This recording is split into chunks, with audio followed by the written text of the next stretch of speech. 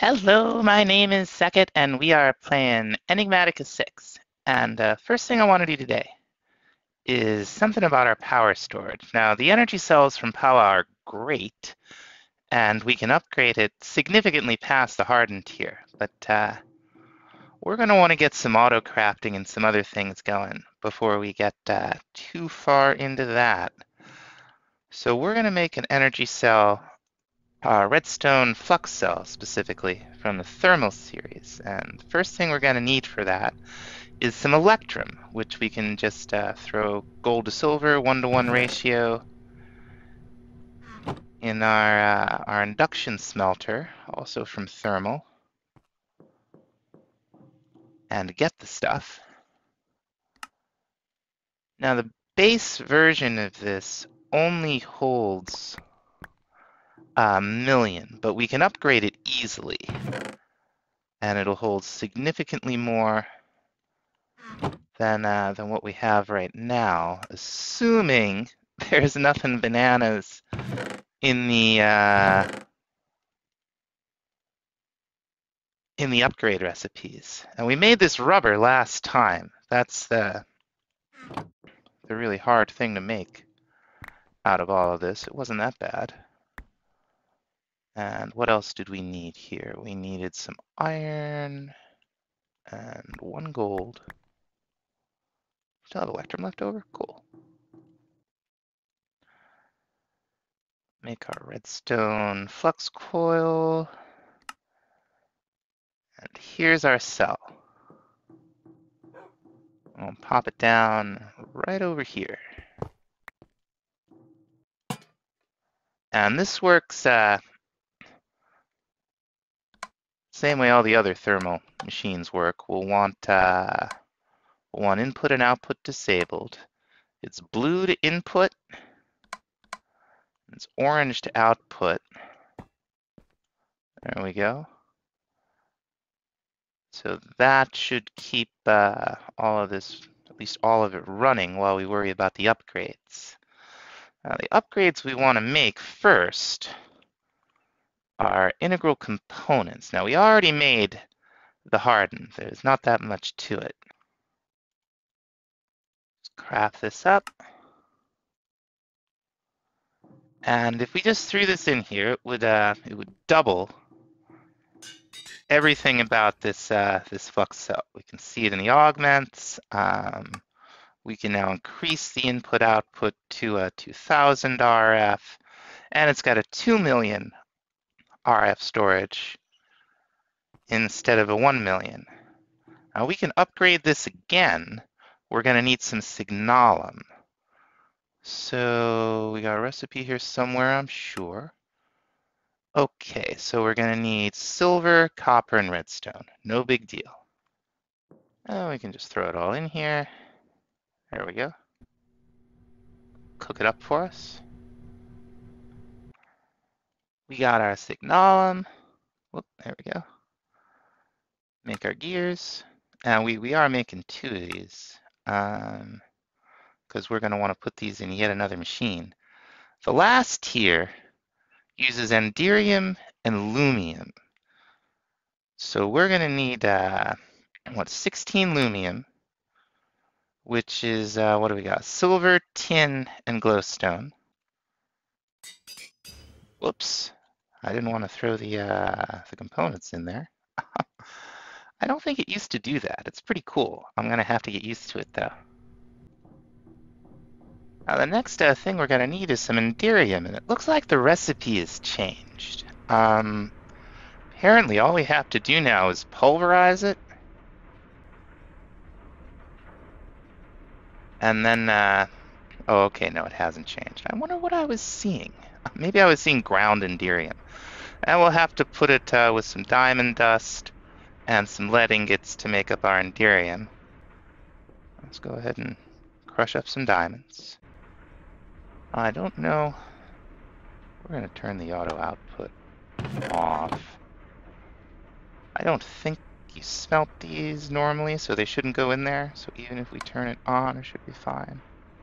Yeah, okay. And we'll throw all this in here. make a some We're also going to need some kind of hardened glass, and I don't know if we might have gotten some. Yes. Got some as a quest reward at some point. That's wonderful.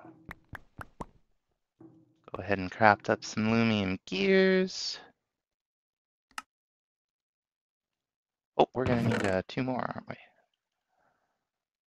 That's fine. Put these together. And we'll throw one in here. So now it'll hold 4 million, right back where we were before. We got more slots. We're not done. What we're gonna want, where are those fancy little upgrades? I don't see them. I probably just don't see them. Um, there they are. So one of these, oh, a creative RF coil? I don't even think we can make that. Um, we've got uh, an expanded RF coil that'll increase uh, the capacity by another four times and the transfer by four. We got this one, which will do six by two, and this one, which will do two by six. Um, we're gonna go for this one. It's really not hard to make. You can use just copper, redstone flux coil, silver. You've actually got way more gold than we do copper, especially after that, uh, that dungeon we tore through. So let's go ahead, there we are. Oh, we got a quest for that. Goodies. Oh, we got a, a reinforced integral components. That's cool. We'll put that in our smelter. Why not? And can you click these in? Yes. Okay. So now it'll hold 24 million RF, and that's uh, that's a significant upgrade from the 4 million. It can also increase. It can also transfer 8. Now, what we don't have here is a slot for our jetpack. And that's the next machine I want to work on. Here we go, the old energetic infuser. We just need a little electrum, some more redstone flux coils, no problem. I think we have everything. This wasn't in the new version of the mod for a little while. I'm really glad it's back. Uh, one energetic infuser. Again, this is just like the uh, the cell. This is uh, you know it's, it's only got 500,000 right now, but if we put this in, that'll increase to 2 million. And we are going to want another one of these. Now we'll throw this in here. Now it holds 12 million, which is uh, that's pretty serious. Now I've added another magmatic dynamo here and put some more resonant integral components in them. We can upgrade the dynamos further. Um, the first thing I want to do is, uh, where's my hammer? There it is. First thing I want to do is increase the power that they have. We're going to use this, uh, this flux linkage amplifier. It increases the base power by 100%. It does use a little bit more energy, but we'll be able to make up for that. We did need these, uh, these electrum plates, which were easy enough to make with our engineer's hammer and some electrum. There are automated ways to do that that we'll be getting into. Couple more coils. And we got a couple of these. And we, whoops. Oh, these are the wrong things. Okay. Well, we can upgrade the speeds here. What we want is the same thing for dynamos. Um, auxiliary reaction chamber. In, okay, this is what we're looking for. We need silver and signalum. Okay, where were we? Let's see. Uh, this is what we're looking for. Okay, so we need four plates. Very good. We're gonna need uh, all of the, I keep losing it. ah, where'd it go? It's here somewhere. Oh, there it is. It moved up there. Okay. Um, no, wait, that's not it. Hang on. Okay. Every time you go into a different GUI, these all change position. It's very, I have a tough time with it. Uh, but we can just go ahead and throw these in here. And right now, we're getting 160 RF a tick, right? With these, we'll get 320. Now they are slightly less efficient, but we can uh, we can make up for that with these uh, multi-cycle injectors. We just need two of these, and these are some Lumium plates. Now we're not really running a shortage of uh, of lava in the Nether, but uh, this is probably a good idea anyway. I don't know if it's really only gonna suck up from where the chunk is loaded. I don't think that's what it'll do, but uh, oh yeah, the Lumium. But I bet we get a quest completion for this too. I haven't been really looking at the quests yet, um, as we seem to be completing them. Okay, well no quest for this one, but that's fine. Throw these in here, they'll burn up the lava a little bit more slowly. And we've got RF just pouring into here. Um, throw our jetpack in. Nice. Real fast, too. Wonderful. Next thing I want to get into is, uh, oh, we got some decent power going over here, is to start increasing our hearts uh, through uh, the Spice of Life Carrot Edition. And to assist us with that, I'm going to use a mod called Cooking for Blockheads. Um, the first thing we're going to want to make, this allows you to build a big multi-block kitchen. If you've seen my series, you've probably seen them before. Um, we're going to need this book, first of all, which is all we got to do is throw a book into some kind of furnace, just like so, and we're all set. Cooked book. We upgrade the book by crafting it with, whoops, with two diamonds and two crafting tables. Um, this will make the Cooking for Blockheads 2, with which you can use. You can craft food with anything you have in your inventory. And if we make it into a block with just a little bit of stone and a little bit of terracotta, we'll have the, oh, we need more terracotta. We'll have the basic block of the multi-block structure. Cool. A bunch more things we want. We're gonna want an oven. Uh, we're gonna need a little bit of black glass to make that, but uh, that won't be a problem. Go on, get down there. There we go. And some iron. And we're going to need a furnace. And this will allow you to cook with either a, you know, regular fuel or with RF.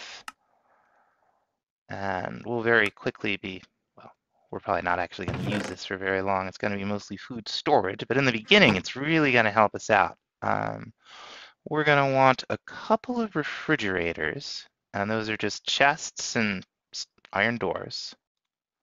Uh, should be pretty easy. Probably isn't going to be enough.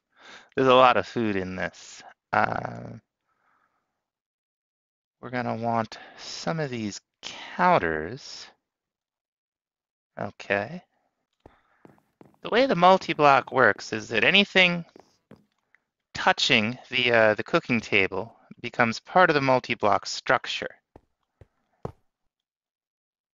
including these kitchen floors. So we could go ahead and, uh, and put our refrigerators, that's not the orientation I want.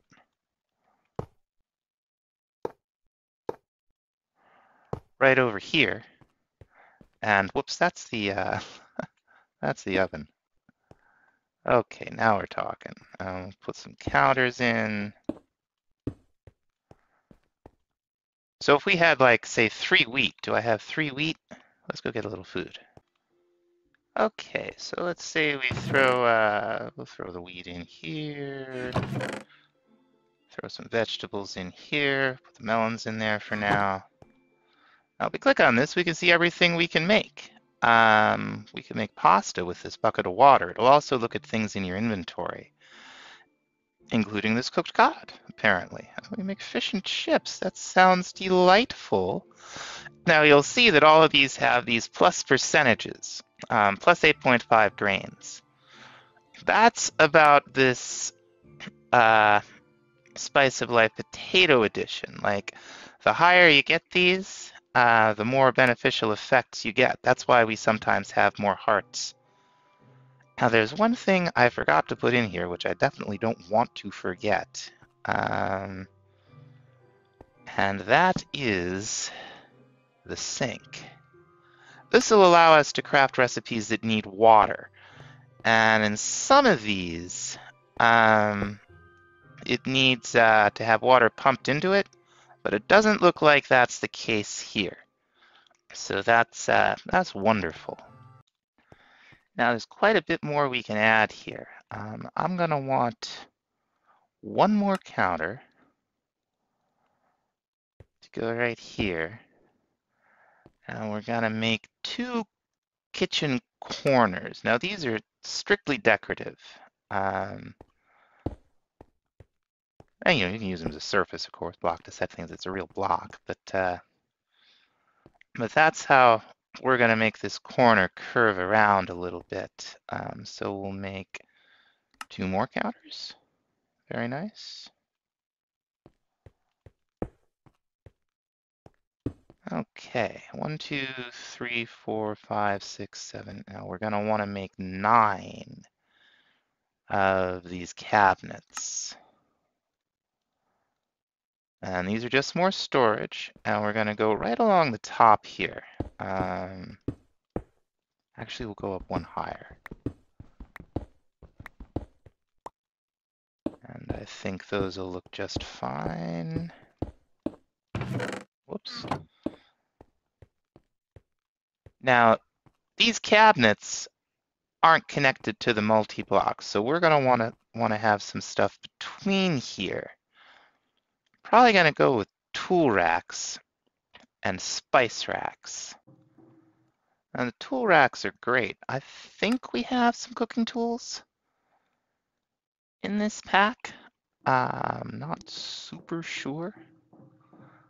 But uh, well, I think we at least have the filleting knives from aquaculture. If you if you hang a tool that's used uh, in a crafting recipe on one of the racks, then uh, then you'll have access to whatever the tool can do inside the grid of your uh, cooking table. Spice racks are just storage. They're uh, they're decorative. All right, now we're talking. Of course, water isn't the only fluid we cook with. We're also going to be cooking quite a bit with milk. So we're going to make a milk jar first. It's just a milk bucket, some planks, and some glass. And we are going to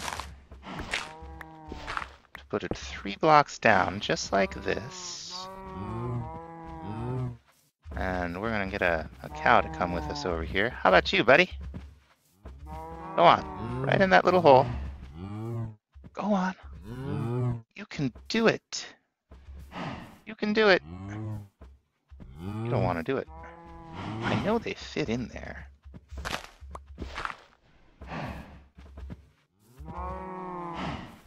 Come on. there we go. Very nice. Now we got a cow right on top of the milk jar. And we're going to drop an anvil on him because we're jerks. Uh, but you can see what this actually gave us is, uh, is a cow in the jar. And that will slowly produce milk for us. It doesn't uh, keep it if you break it. Uh, and that'll allow us to supply milk to our kitchen. And we'll just pop it right down here. Cool. One more thing I want from cooking for blockheads are a couple of fruit baskets. Now these are these are just in inventory. Um, like the cabinets or the spice racks, the uh, the only difference is aesthetic. One more thing that we want from the mod is this ice unit. Uh, this, if we, uh, I guess we'll just have to break this the hard way, huh? Hey! Where's the snow?